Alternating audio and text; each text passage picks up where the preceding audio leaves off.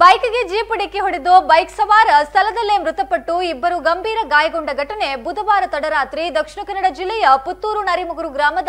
ತಡಕದಲ್ಲಿ ಸಂಭವಿಸಿದೆ ಪುತ್ತೂರು ತಾಲೂಕಿನ ಬಡಕೋಡಿ ಕಡ್ಯಾ ನಿವಾಸಿ ಪ್ರಸ್ತುತ ಮಂಗಳೂರಿನಲ್ಲಿ ಲಾರಿ ಚಾಲಕರಾಗಿರುವ ಲೋಕೇಶ್ ನಲವತ್ತ ಎಂಟು ವರ್ಷದ ಮೃತಪಟ್ಟವರು ಅವರ ಇಬ್ಬರು ಮಕ್ಕಳು ಗಂಭೀರ ಗಾಯಗೊಂಡಿದ್ದು ಗಾಯಾಳುಗಳನ್ನ ಪುತ್ತೂರಿನ ಆಸ್ಪತ್ರೆಗೆ ದಾಖಲಿಸಲಾಗಿದೆ ಲೋಕೇಶ್ ಅವರು ಮಕ್ಕಳೊಂದಿಗೆ ಪುತ್ತೂರು ಶ್ರೀ ಮಹಾಲಿಂಗೇಶ್ವರ ದೇವಾಲಯದಲ್ಲಿ ನಡೆಯುತ್ತಿರುವಂತಹ ಜಾತ್ರೆಗೆ ಆಗಮಿಸಿ ಹಿಂದಿರುಗುತ್ತಿದ್ದ ವೇಳೆ ಮುಂಭಾಗದಿಂದ ಆಗಮಿಸಿದ ಜೀಪ್ ಅವರು ಚಲಾಯಿಸುತ್ತಿದ್ದ ಬೈಕ್ಗೆ ಡಿಕ್ಕಿಯಾಗಿತ್ತು ಡಿಕ್ಕಿಯ ರಭಸಕ್ಕೆ ಬೈಕ್ ಎರಡು ತುಂಡಾಗಿದೆ ಸುಮಾರು ಐವತ್ತು ಮೀಟರ್ ದೂರದ ತನಕ ಬೈಕ್ ಅನ್ನ ಜೀಪ್ ಎಳೆದುಕೊಂಡು ಹೋಗಿದೆ ಈ ಸಂದರ್ಭದಲ್ಲಿ ರಸ್ತೆಗೆ ಎಸೆಯಲ್ಪಟ್ಟ ಲೋಕೇಶ್ ಅವರು ಸ್ಥಳದಲ್ಲಿಯೇ ಸಾವನ್ನಪ್ಪಿದ್ದಾರೆ